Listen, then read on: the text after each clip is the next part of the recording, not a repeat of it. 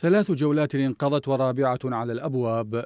مباحثات مع الجانب الأمريكي توصف بالاستراتيجية حاولت الحكومات في بغداد أن توحي بأنها مفاوضات لغرض ترسيخ مفهوم السيادة والاستقرار عبرها إلا أن شيئا من هذا لم يحدث. ولعل انهيار مختلف القطاعات في البلاد سواء الامنيه أو الاقتصادية خير دليل على ذلك. وبالتزامن مع الهجمات التي تشنها الميليشيات الولائية على المصالح الأمريكية والبعثات الدبلوماسية في العراق تمارس القوى المقربة من إيران ضغطا متواصلا لحمل الحكومة على التوصل لاتفاق يقضي بانسحاب كامل القوات الأمريكية في العراق.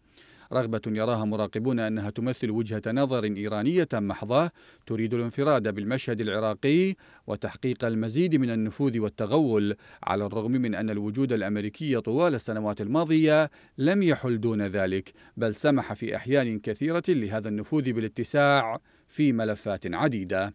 وزاد استمرار هذه المناورات بين الميليشيات والقوات الأمريكية من اضطراب الوضع الأمني الداخلي إضافة إلى الفساد المستشري والخدمات المتداعية.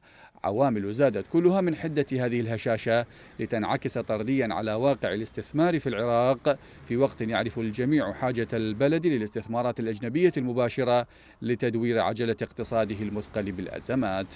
المخاطر المتصاعدة على رأس المال العربي والأجنبي في العراق دفع العديد من الشركات الاستثمارية العملاقة للهجرة بالتزامن مع فوضى أمنية امتدت تداعياتها لتصل إلى مدينة أربيل لتغدو البيئة العراقية طاردة للاستثمار وكل أنواع الاستقرار.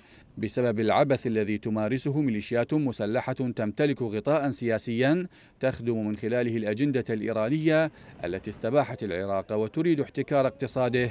كما احتكرت قراره السياسي.